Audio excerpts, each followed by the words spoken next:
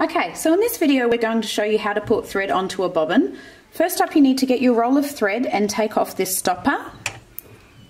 As you put on your roll of thread, please make sure that the thread is coming from underneath and upwards direction like that.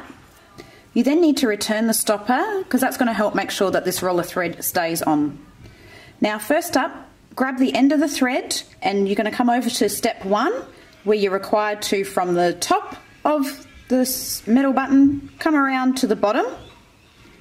You can see over here on the right hand side there's a diagram that's clearly showing what I'm doing so far. So I've just completed step one. Step two is now getting me to put my empty bobbin onto the pin. First up I need to push it to the right hand side. You'll now see down on the screen that it's showing that, yep, it's ready for my bobbin. This means now my machine won't do any sewing while I've got my bobbin locked into the right place.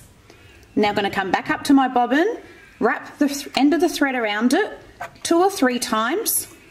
It's important that you hold the end of the thread as you start to press down on your foot pedal to put on the thread onto the bobbin so it doesn't come undone or loose. So I'm now going to press down on my foot pedal. I can see that's caught on so I can let go.